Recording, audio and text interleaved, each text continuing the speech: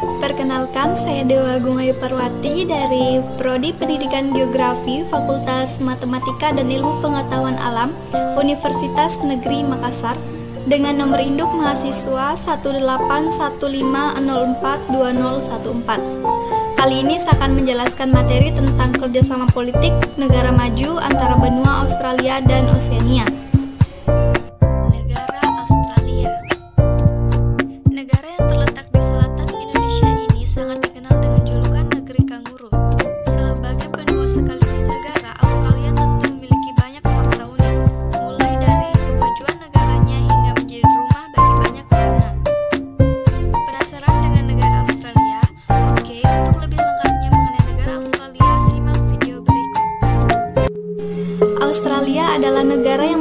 Bagian selatan dunia, juga merupakan benua terkecil di dunia.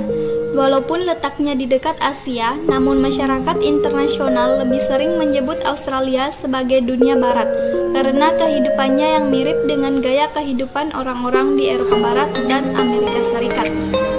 Penduduknya sebagian besar berkulit putih, sedangkan penduduk asli Australia yakni orang aborigin adalah orang-orang Australia pertama yang benar-benar menghuni benua itu. Australia termasuk contoh negara maju di dunia yang terletak di benua Australia dan kawasan Oceania. Negara ini memiliki tingkat perekonomian yang baik dan masuk 20 besar negara dengan ekonomi terbesar.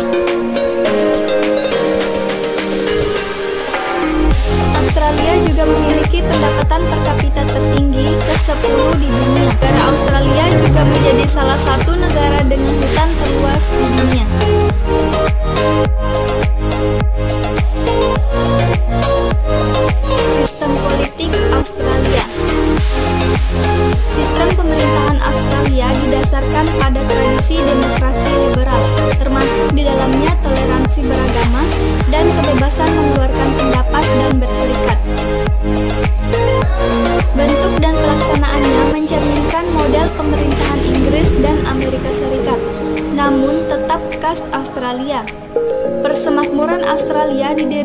Pada 1 Januari 1901 yang disebut juga Hari Federasi. Konstitusi Australia menetapkan peraturan dan tanggung jawab pemerintah serta menjabarkan wewenang dari ketiga cabang pemerintahan legislatif, eksekutif, dan yudikatif. Badan legislatif berisi parlemen yakni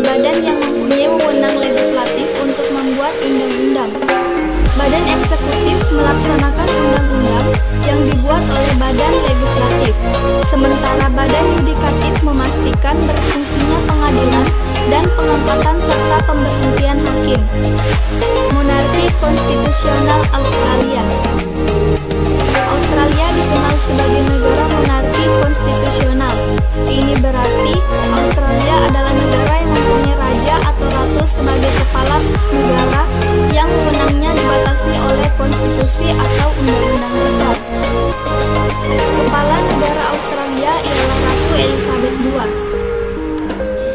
Australia, ratu secara resmi diwakili oleh seorang gubernur jenderal yang diangkat oleh ratu atas usulan Perdana Menteri Australia. Ratu tidak mempunyai peranan apa pun dalam tugas keseharian gubernur jenderal. Gubernur jenderal dan gubernur atau kepala negara bagian Australia. Dalam Undang-Undang Dasar atau Konstitusi, wewenang dan tugas gubernur jenderal termasuk memanggil, menghentikan sidang badan pembuat undang-undang, dan membubarkan parlemen, menyetujui rancangan peraturan, mengangkat menteri, menetapkan departemen-departemen dalam pemerintahan, serta mengangkat hakim. Figur yang diangkat untuk posisi gubernur jenderal dipilih berdasarkan pertimbangan pemerintah. Pemerintahan Persemakmuran atau Federasi atau Pemerintah Pusat Australia. Parlemen tingkat pusat bersifat bikameral, yakni mempunyai dua kamar, House of Representative atau Majelis Rendah, DPR dan Senat atau Majelis Tinggi. Keduanya bertanggung jawab menetapkan undang-undang berskala nasional seperti perdagangan, perpajakan, imigrasi, kewarganegaraan, jaminan sosial, kerjasama industri, dan hubungan luar negeri. Sistem politik negara kawasan Oseania Kawasan Pasifik Barat Daya atau yang biasa disebut sebagai kawasan Oseanis memiliki dinamika dalam kehidupannya. Letak geografis negara-negara kawasan Oseania ini yang berada di tengah Samudra Pasifik menyebabkan isu mengenai lingkungan salah satunya sea level rising menjadi isu yang krusial di kawasan ini. Dalam tinjauan tentang tipe-tipe pemimpin di kawasan Oseania, terdapat dua tipe politik di Kepulauan Pasifik, yakni tipe politik dengan kepemimpinan shift di Kepulauan Mikronesia dan Kepulauan Polinesia dengan struktur sosial yang terstratifikasi, dan tipe kepemimpinan Big Man di Kepulauan Melanesia dengan struktur masyarakat yang egaliter. Tipe pemimpin Big Man merupakan tipe pemimpin yang kemudian berevolusi menjadi tipe pemimpin shift. Terdapat dua faktor utama yang melatar belakangi evolusi tipe pemimpin Big Man menjadi shift. Pertama, adalah perkembangan produktivitas teknologi yang menyebabkan sistem hierarkis di masyarakat. Kedua, variasi-variasi yang terdapat dalam suatu sistem atau tipe politik merupakan hasil adaptasi dari lingkungan tertentu. Kawasan Oseania yang meskipun menjadi negara yang terkungkung dari dunia luar, bukan berarti negara-negara kawasan ini tidak berada dalam banyak dinamika permasalahan instabilitas politik seperti kudeta pemerintahan dan krisis politik. Seperti, selain itu, dikarenakan adanya isu-isu rasial yang dikarenakan adanya ketidaksetaraan dari beberapa pihak di dalam suatu negara, sehingga kondisi internal negara di kawasan Oseania ini sendiri sebenarnya yang menjadi pemicu masalah dan instabilitas politik yang terkait. Kerjasama benua Australia Kerjasama dalam bidang politik maksudnya adalah sebuah usaha politik yang dilakukan suatu negara dengan negara lain yang menghasilkan kesepakatan bersama agar mencapai keuntungan politik untuk kedua belah pihak. Oseania menyimpan kekayaan alam yang luar biasa. Belum lagi letak Samudra Pasifik yang digunakan sebagai jalur perdagangan internasional semakin menambah kesan strategis pada kawasan Pasifik.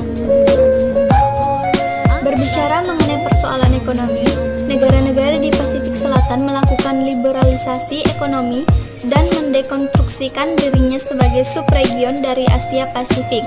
Cara ini ditempuh oleh mereka untuk menjaga laju pertumbuhan ekonomi kawasan.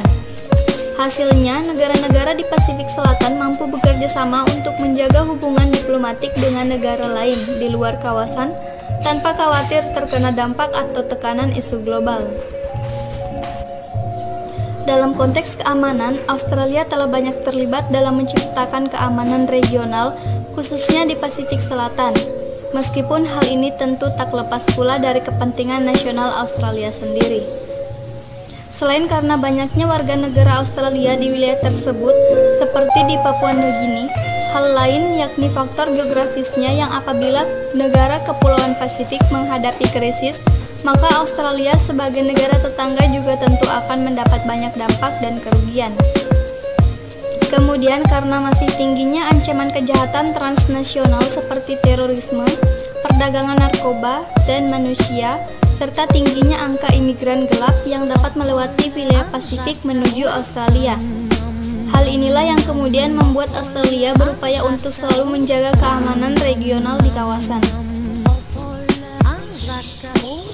Bentuk kerjasama yang dibangun oleh Australia sebagai upaya pencapaian kepentingan keamanan regional dan integrasinya di kawasan Pasifik Selatan adalah melalui keterlibatannya dalam organisasi SPF South Pacific Forum yang kini dikenal dengan nama PIF Pacific Island Forum yang merupakan organisasi utama di kawasan Pasifik dengan negara anggota berjumlah 16 negara yakni Australia, Cook Island, Federated States of Micronesia, Kiribati, Marshall Island, Nauru, Nine, Palau, Samoa, Selandia Baru, Solomon Island, Tonga, Tuvalu, Fiji, Papua Nugini, dan Vanuatu.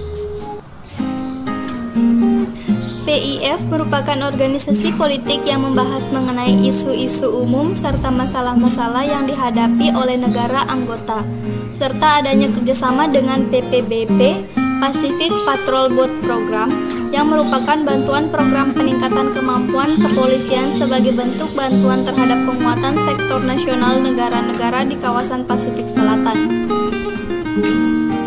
Kerjasama tersebut dilakukan sebagai upaya Australia dalam melindungi wilayah-wilayah yang dianggap strategis.